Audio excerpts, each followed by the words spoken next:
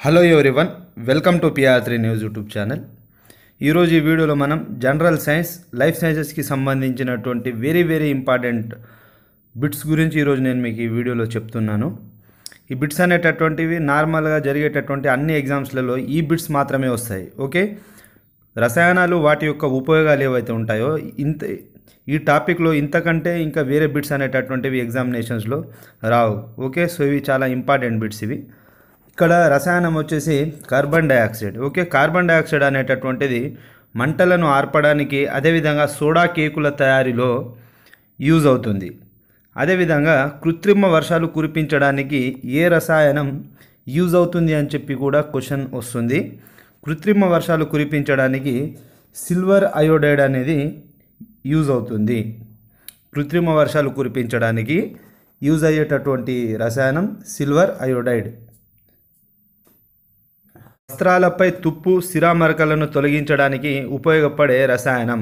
Oxalic ఆమ్లం అనేది వస్త్రాలపై తుప్పు సిరామరకలు తొలగించడానికి యూజ్ అవుతుంది. అదేవిధంగా క ఐరన్ ఆక్సైడ్.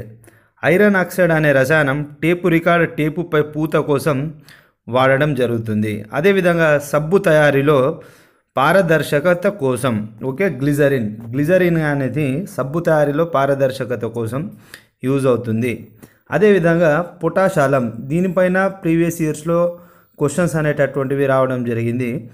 పొటాష్ ఆలం అనేది మురికి నీటిని తేర్చి స్వచ్ఛతను పొందడానికి ఓకే? మురికి నీటిని తీర్చి స్వచ్ఛతను పొందడానికి వాడేటటువంటి రసాయనం పొటాష్ ఆలం అదేవిధంగా రబ్బరును వల్కనైజ్ చేసి సాగే గుణం పెంచడానికి వాడేటటువంటి రసాయనం వచ్చేసి sulphur. With help of sulphur రబ్బరును వల్కనైజ్ చేసి సాగే గుణం పెంచడానికి సల్ఫర్ అనేది యూజ్ అవుతుంది. అదేవిధంగా graphite.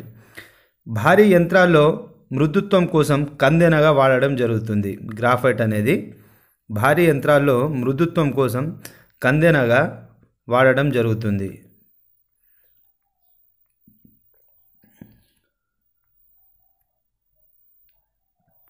Next one acetic anhydride పచ్చళ్ళను దీర్ఘకాలం నిల్వ ఉంచడానికి. ఓకే మన పిక్కల్స్ ఏవైతే ఉంటాయో అవి త్వరగా పాడవకుండా ఎక్కువ కాలం ఉండడానికి ఎసిటిక్ ఎన్హైడ్రేట్ అనేటటువంటి రసాయనాన్ని వాడడం జరుగుతుంది. అదేవిధంగా ఎముకలు దంతాల యొక్క బలం కోసం ఓకే? ఎముకలు అదేవిధంగా దంతాలు స్ట్రాంగ్గా ఉండడానికి వాడేటటువంటి రసాయనం calcium phosphate. Okay calcium phosphate వలన ఎముకలు దంతాలు బలంగా ఉంటాయి. దంతాల్లో పింగాణి పొర ఏర్పడడం ఏర్పాటు కోసం ఓకే? దంతాల్లో పింగాణి పొర ఏర్పడడం కోసం వాడేటటువంటి కెమికల్ వచ్చేసి సోడియం ఫ్లోరైడ్.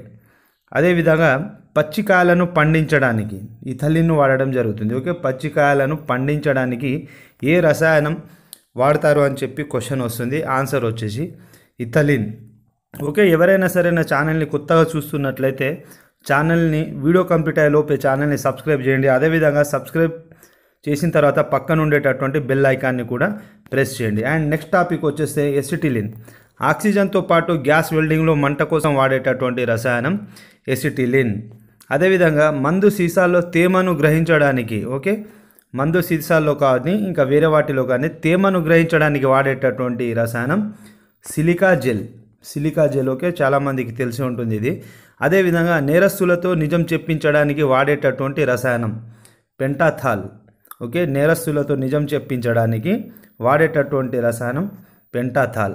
అదేవిధంగా టెలిఫోన్ పెట్టెల తయారీకి టెలిఫోన్ పెట్టెల తయారీకి వాడేటటువంటి రసాయనం ఫినాల్ ఫార్మల్ డిహైడ్ తయారీకి వాడే రసాయనం ఫినాల్ ఫార్మల్ డిహైడ్ శీతల పానీయాల్లో నిమ్మ వాసన కోసం. ఓకే? సీ శీతల పానీయాల్లో నిమ్మ వాసన కోసం వాడేటటువంటి రసాయనం సిట్రానెల్లాల్. అదేవిధంగా కల్తీ కల్లులో నురగ కోసం వాడేటటువంటి రసాయనం వచ్చేసి క్లోరల్ హైడ్రేట్. కల్తీ కల్లులో నురగ కోసం వాడేటటువంటి రసాయనం వచ్చేసి chloral hydrate.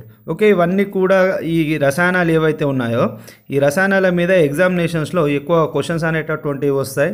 From general science ఏదైతే ఉంటుందో మన కెమిస్ట్రీ ఫిజిక్స్ వాటికి అన్నింటికి సంబంధించినటువంటి ఇంపార్టెంట్ బిట్స్లో ఇవి చాలా చాలా అత్యంత ఇంపార్టెంట్ బిట్స్ ఇవి. సో ఎవరైనా ఇంకా నా ఛానల్ని సబ్స్క్రైబ్ చేసుకున్నట్లయితే ఛానల్ని సబ్స్క్రైబ్ చేసుకోండి. అదేవిధంగా పక్కన ఉండేటటువంటి బెల్ ఐకాన్ని కూడా ప్రెస్ చేయండి.